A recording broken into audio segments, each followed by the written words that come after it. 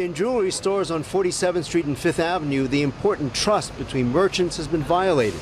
This 10 ounce gold bar costing nearly $18,000 turns out to be a counterfeit worth just about $3,600. It's filled with tungsten, which weighs nearly the same as gold but costs just over a dollar an ounce.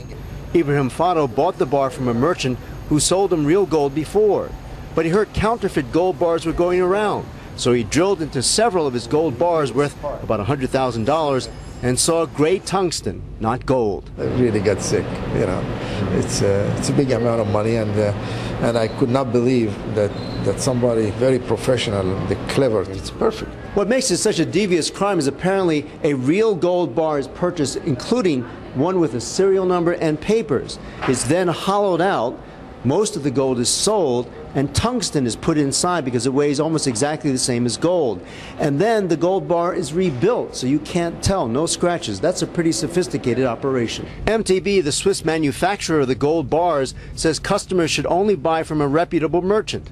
The problem, he admits, is Ibrahim Fadl is a very reputable merchant. We have reported it to the FBI and the U.S. Secret Service and the matter is currently under investigation by the authorities. The Secret Service, which deals with counterfeit, says it's investigating. In March, gold bars filled with tungsten showed up in England.